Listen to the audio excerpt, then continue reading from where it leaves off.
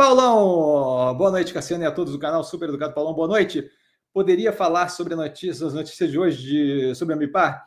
Então, acho que a Mipar meio que encheu o saco da, da, da, do burburinho que estava tendo. Tá só um gole d'água aqui que está. Me parece que a notícia ali, o, o, o, aspas, furo de reportagem do, acho que foi Lauro Jardim, meio que foi a gota d'água. Tá? Ele publicou, eu não sei se foi ele especificamente, alguém publicou, não lembro o nome, acho que foi o Lauro Jardim. Mas a, houve a publicação ali de que o fundador ou CEO, uma galera alto nível dentro da Ambipar, estava começando a cotar, junto à Gulfstream, um, um, jato de luxo, um G5, tá? um G5, que é o Gulfstream 500, o Gulfstream 500 é, que é um jato é, caro, alto nível, blá, blá, blá, não sei o quê. É, e eles acho que se incomodaram, porque eles tinham acabado de lançar um guidance. Eles meio que falaram: ah, chega, deu, cansei dessa jossa. Então a, a empresa a, a empresa está fazendo tudo certinho. O preço do ativo está apanhando consistentemente. Eu acho que acho que eventualmente bateu aqui na tampa e o nego falou: não, vamos, vamos para porrada então. E aí fizeram tudo uma vez. Aí você vê o que? É, primeiro, negando veementemente, porque já vinha um, de tempo em tempo, não sei se vocês conseguem perceber isso, porque não sei quanto vocês estão conectados nas notícias, que nem eu tô, tá? Mas de tempo em tempo você vê que o mercado meio que escolhe um ativo para tentar fazer uma vibe meio lobo de Wall Street, sabe? Tentar derrubar o preço na marra, uma coisa meio ação meme, tipo GameStop. Eles são é, você você vê claramente no movimento de tipo de fala que é feita, tipo de indicação que é feita, que fazendo não fazendo sentido, há pouco tempo atrás era o Grupo Caso Bahia certo? De, de, da, da, certeza de que vai falir, mas não tem nada a ver, não tem fundamentação nenhuma. E agora a gente está vendo isso acontecer com a Ambipar, certo? É, você teve ali bastante notícia, bastante notícia, e aí aparece agora esse negócio do Gulfstream, do, do, do G5, do G5, do, do, jato. E aí, assim, acho que, acho que bateu aqui, certo? Eles, me parece que, e aí, ó, vale notar aqui, eu estou falando, me parece que, eu não tenho como saber o que está na cabeça do, dos caras, mas me parece que eles tinham um plano menos é, pesado de ter que fazer tudo numa porrada só de desalavancagem. E aí falaram: olha, tudo bem, a galera tá ficando tensa, vamos dar um guidance. E aí deram um guidance até final de 2026, que olha, até lá chega em 2,5 vezes dívida líquida sobre EBITDA, certo? A gente tem um plano aí, é, é só, só assim, não, não, não tem por que fazer pá, numa porrada só. É mais interessante fazer alongado, sem, sem estressar ninguém, sem pressa, sem nada. Dá para fazer, a operação gera caixa, ponto. Não adiantou, não adiantou porque justamente começou a gerar mais e mais e mais, deu, deu, deu benefício de um dia e começou a gerar mais e mais notícias. Aí eles, na minha cabeça, eles falaram: quer saber? Vamos para Casa do Chapéu, certo? E aí o que eles fizeram? O maior plano de recompra de ação que eu já via, certo? De a possibilidade de, de recomprar até 37% do, do, das ações em circulação, que é simplesmente ridículo. Tipo assim, ó, eu vou entrar comprando violentamente, vou comprar tudo que der, porque vocês estão malucos, vocês estão fora da casinha. E junto disso, um pouco antes desse plano de recuperação ser divulgado, eles divulgaram, eu troquei a ordem aqui, né? Um pouco antes de ser divulgado, eles divulgaram é, o novo guidance. Então, assim, a gente consegue fazer mais rápido. A gente não achou que fosse necessariamente, consegue fazer mais rápido.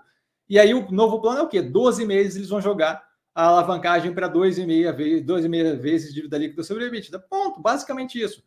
Então, assim, na minha cabeça, não me parece uma decisão é, com base, basicamente assim, mostrando para o mercado que, olha, a gente não tem dificuldade de reduzir isso daqui mais rápido. É que não é a questão. Mas começou a virar aquele burburinho grande, inventar coisinha de, de vai comprar jato e blá. Estão querendo, há bastante tempo, estão tentando fazer a operação parecer irresponsável com a alavancagem. Não é de agora que estão tentando isso. E não é só com essa operação. Eventualmente, como eu acompanho tudo o tempo todo, eventualmente você vê o fluxo de negatividade mirando no ativo. E não é um negócio que é leve. Assim como você vê positividade mirando para outro, certo? Vale. A Vale pode matar alguém no meio da, da, da, da Vale, como se fosse uma pessoa. Mas assim, a, a, Vale pode explodir uma mina no meio de uma cidade grande do Brasil, que ainda assim vão falar: não, é um acaso, e aconteceu por acaso, não tem problema, e é parte da vida, esse tipo de coisa acontece. É assim, certo? Você tem ali pega a lista de indicação de ativo, a boa vontade que a galera tem, com Vale é absurda. Com Petrobras é absurda, certo? O governo está claramente metendo a mão na Petrobras. Vai dar problema. Mas a boa vontade é simplesmente incrível. Era assim com o Cielo também. Vai dar, a Cielo vai dar, vai dar tudo certo, a Cielo vai dar. Não dá, não é assim que funciona. Mas, mas o que acontece? Tem uma questão que, que ainda é pouco é, aprofundada aqui no Brasil e conhecida, que é o quê? Portanto, é que eu tenho que explicar 300 mil vezes? Não. Especificamente agora, mas, mas em geral, que é o quê? O preço do ativo é uma coisa, a operação da empresa é outra.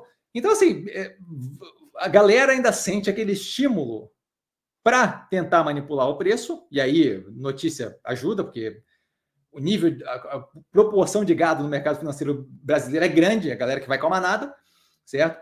E você tem ainda aquela, aquela ideia, que é completamente errônea, de que se o preço do ativo está oscilando para baixo, é negativo para a operação, e não é. A operação não tem nada a ver com o preço.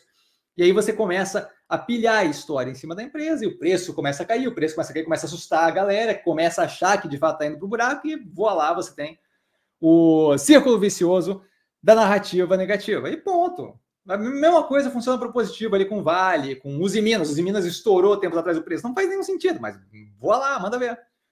Bota dinheiro lá. Então, assim, eu acho que me parece, a impressão que me parece, eu divaguei um pouco aqui porque tá, tá tranquilo de pergunta, mas a impressão que me parece é que a operação bateu na tampa. Tipo, você não, não, tem que ficar lidando com isso. Vocês querem que eu desça, não, não consigo descer alavancagem? Então vamos ver se eu não consigo descer alavancagem. Ah, não quer nesse preço? R$ reais está caro? Então tudo bem, então daqui que eu compro. 37%, vamos embora, vamos para cima. Pegar dinheiro, tocar. Então eu vou fazer um programa de recompra cavalar e vou baixar a alavancagem em 12 meses. Ponto. Assim eu provo que eu consigo fazer o que vocês, que vocês estão dizendo que eu não consigo. Ponto.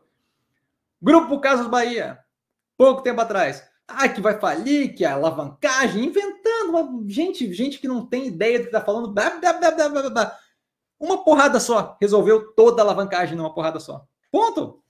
Ponto. Resolve. Eventualmente a realidade se impõe. Então, basicamente foi isso. Acho que eles cansaram de, de, de ficar lidando com esse tipo de besteira. O tempo todo que ficar respondendo coisas. Não, olha, não vai quebrar. Não, olha, a gente consegue pagar dívida. Não, olha, é só olhar o fluxo de caixa. Não, a alavancagem está tranquila. Deve, deve, deve dar no, no, no talo mesmo.